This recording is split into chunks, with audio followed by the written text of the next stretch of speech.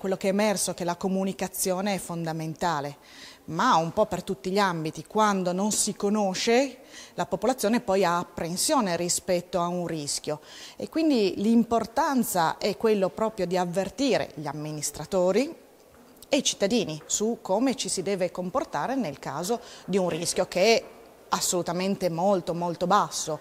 Eh, qualche volta nel mondo c'è qualche collasso di diga, ma è veramente estremamente basso questo rischio. Però è vero che quando succede genera nei cittadini una certa apprensione.